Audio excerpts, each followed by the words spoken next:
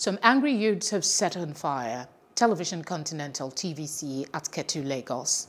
Morning talk show Your View was on when mob besieged the station. The program host, Morayo Afolabi Brown, said the attackers entered in a van. The station has since been stuck.